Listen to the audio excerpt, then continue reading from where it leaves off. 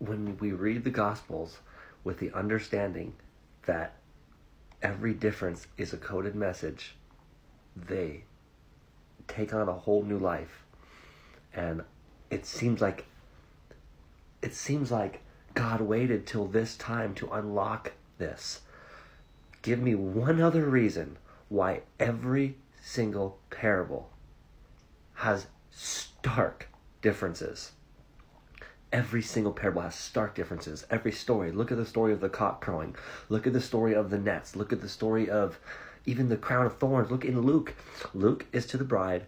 Mark is to the sleeping left behind church. Matthew is to the Jews. It's plain as day. Give me one other reason. God's word is perfect.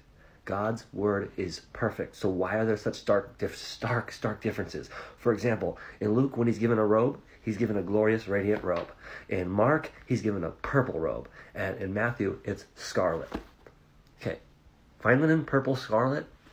What's the whore riding? The beast. She's wearing scarlet and purple, not fine linen. Fine linen is later on. She's wearing fine linen, purple, and scarlet. Because we come in later. Okay, we come in after. Luke is to the bride. Look at this. Check out the story of the cock crowing. Are we children of the day or are we children of the night? We are children of the day.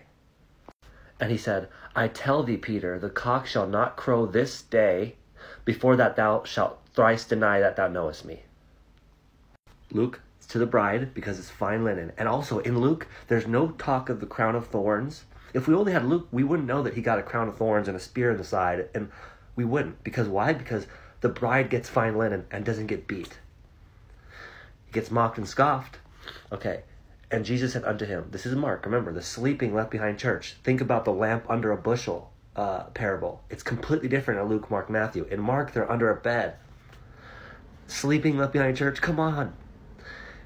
And Jesus saith unto him, Verily I say unto thee, that this day, even this night, so we have children of the day and children of the night in the tribulation. Some will be for the night, some will be for the day.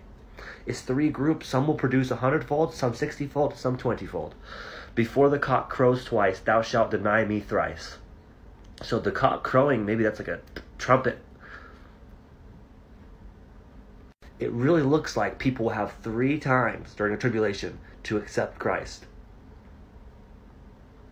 That's what I'm seeing from this. And God is merciful. Don't you think that would make sense? Just don't get the mark, okay, if you're left here. But you're not going to be left if you believe in Christ. Look, Jesus said unto him, Verily I say unto thee, at this night, there's no more day. This is Matthew, okay? This is to this is the very end of the tribulation. Where's the day gone? The day's not here anymore. It's this night.